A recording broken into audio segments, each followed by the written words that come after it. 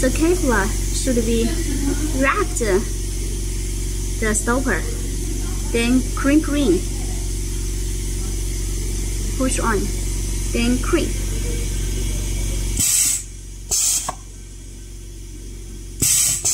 The tensile strength, not uh, the tensile strength depending on the crimping machines. Power.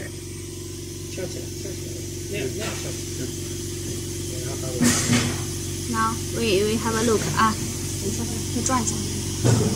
The crimping, crimping like this.